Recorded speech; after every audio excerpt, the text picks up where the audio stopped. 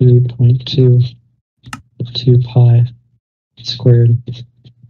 Cancel k. Right now I can't cancel k.